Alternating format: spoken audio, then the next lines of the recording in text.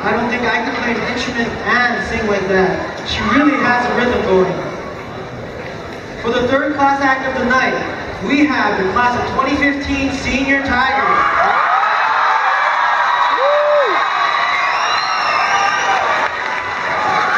The class of 2015 will be performing Grease.